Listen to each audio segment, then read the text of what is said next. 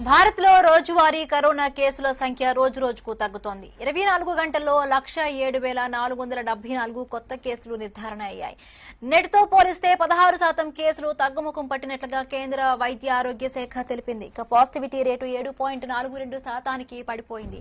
క్రియాశీలక కేసుల సంఖ్య రెండు పాయింట్ తొమ్మిది సున్నా శాతంగా ఉంది. రికవరీ రేటు తొంభై ఐదు పాయింట్ తొమ్మిది ఒకటి శాతంగా నమోదైంది. ఇక తాజాగా ఎనిమిది వందల అరవై ఐదు మంది కరోనా బారిన పడి మృతి చెందారు. దీంతో మొత్తం మరణాల సంఖ్య ఐదు లక్షలు దాటింది.